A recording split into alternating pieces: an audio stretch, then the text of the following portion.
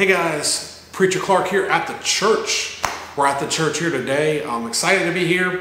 Uh, look, we are doing some upgrades here to the church. We're going to set up some more teaching tools here.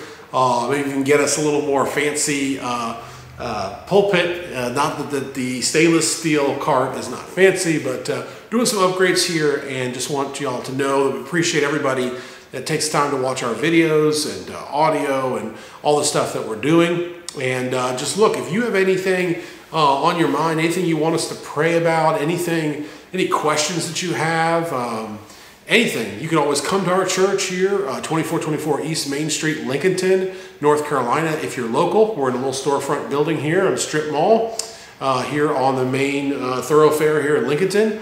Or if not, uh, you can just comment on the video or send me a message, uh, clark at enduringpromise.org, or uh, visit our website, uh, kjvcafe.com. If you, there's a little envelope button on there, you can press that and uh, reach me and uh, be happy to help you, uh, pray for you. just want to go ahead and, like I said, film a short video here letting you know that we've got some new exciting stuff coming from our church. And so take care, God bless, and I'll talk to you soon.